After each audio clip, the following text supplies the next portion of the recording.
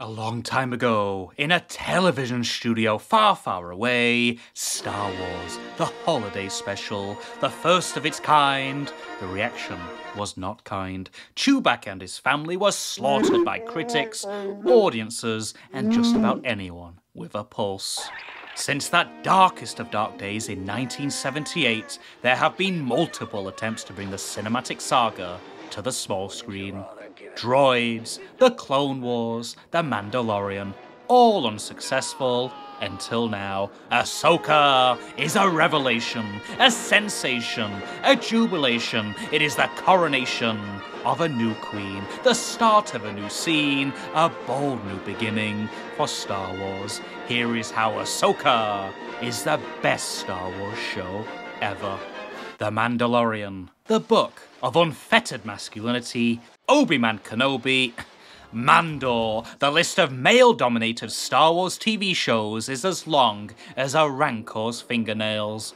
50% of the galaxy is female, 100% of the limelight is male. Despite Kathleen Kennedy's stellar work on the Star Wars movies, the Force's female movement never transitioned to TV.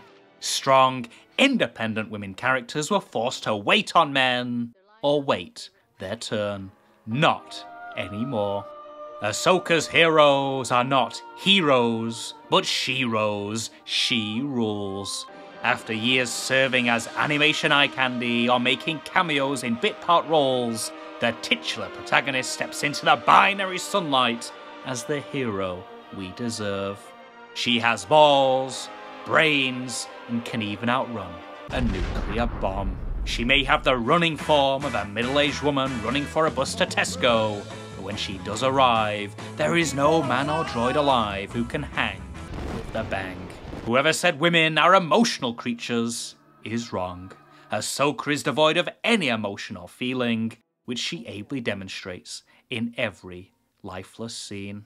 Where do you call home these days? This ship serves me fine. Don't you ever get tired of moving from one place to another? I go where I'm needed. Sabine Wren, a 28 year old teenager. She says no to authority and hell yes to insane, high octane motorcycle fun faster than a blaster gun. Sabine the machine stops for no man, no woman, but she does stop for cute furry little cats with duck legs. When it's time to feed her tooka, get out of the way, or you'll play snooker with your life. She's no wife, no girlfriend, she's Ahsoka's former apprentice. And like her Tangy Tano master, she has more balls than a Pokemon master. At first, she tells Ahsoka to get lost, but by the end of episode 2, she gets a haircut. Queen Sabine is back, baby, with a bang. Who the Hera is this? It's Hera Syndulla, played by Scott Pilgrim's girlfriend, Mary Elizabeth Winstead. Why marry a legendary Star Wars character when you can become one? Bib Fortuna looks like he had the misfortune of being born in a sarlacc pit. Hera looks like She-Hulk's hot sister. Behind every strong woman is another strong woman. As Winstead tells Entertainment Weekly, What I love about her is that she's such a strong leader and fighter, and she's also so maternal and nurturing.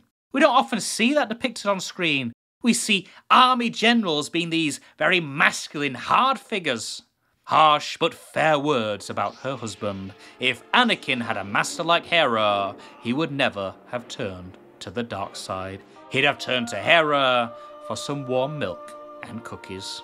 Darth Vader, the Emperor, and the Emperor again. Star Wars wouldn't be Star Wars without iconic villains. Who is Ahsoka's ultimate foe, her arch nemesis? In a show like Ahsoka, there is only one way to go. Nope, guess again. That's right, Norma Bates from The Mandalorian Season 3 is back as Morgan Elsbeth. Space Prison, a space paper bag. She is free within minutes and free to craft an evil plan to restore the Empire. Third time lucky for the Emperor. Somehow this time he will not return. A new plan is born, the return of Grand Admiral Thrawn, a galactic cross between Thanos and Pee Wee Herman. What's the one thing that can stop a blue man from ruling the galaxy? An orange woman with two tails on her head. Ahsoka is waiting, sucker. Twenty years ago, blonde haired, blue eyed Anakin was the chosen one. Why was he chosen? Because he was a he. Women Jedi's were on the sides of milk cartons, missing, and if they were found, they were found dead in blink and you'll miss it montages. In 2015, Rey paved the way for a new generation of Jedi. Jedi without tails between their legs, but tails on their heads. Dark Lords, but with dark young ladies ready to replace them. The Force is female, and so is the dark side. Shin Hati, Shin sexism kicks misogyny in the balls and cuts through the white male privilege like a hot laser sword through Luke Skywalker butter. One suspects she'll betray her dark side brethren like Reva, for those side eyes cannot be ignored, but for now, she is a formidable foe for the orange glow and the purple bob. Who's this? The token white man. On first impressions, one mistakes Baylan Skoll for a Sith Lord, but within minutes, it is established Baylan Skoll is Baylan Skrull. He wears the face of a badass bad guy, but acts like a cuckold Jedi. Morgan does the ordering, Shin does the ass kicking. Baylan's role is Baywatch. Watch the babes make waves. The only characters with less screen time other white men, for in the age of televisual enlightenment, the lighter the male, the lighter the workload. If Baylan does not feature in any future episodes, he would not be missed, because he barely exists. Ahsoka is the greatest game ever made that is not a game. Throughout the show, the compulsion to pick up a controller is ever present. Ahsoka is PlayStation VR, just without the PlayStation or the VR. All the puzzles feel like they have fallen straight out of Jedi Fallen Order. Running, hit L3. Lightsabers, hit square. Dialogue, make a choice. You never made things easy for me, Master.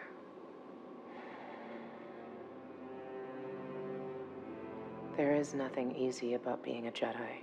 The key difference between a session on PlayStation or an hour watching Disney Plus Ahsoka is stuck on story mode. Everything comes so easy to the Tangerine Tano and her Blue Wren's apprentice that the only drama comes from wondering whether the Mandalorian will put on her helmet or get a haircut. What do real Star Wars games look like?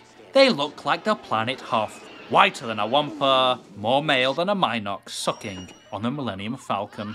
A privileged white male Jedi jumps from planet to planet to free the galaxy from tyranny, yet on board his own ship, every species, every woman, every minority man takes a backseat so he can be the star of Star Wars.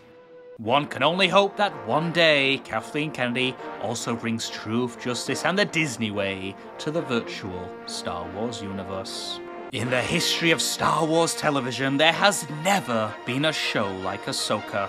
The holiday special, a farce of the Force, the Clone Wars, the Clone Wars, the Mandalorian, all man until Bo Katan. Ahsoka sets light to the old ways and lights a path for a new way forward, a forward way in which women are all the heroes, all the villains, and all that matters. All hail the best Star Wars show ever. Well then, I'll be on the ship.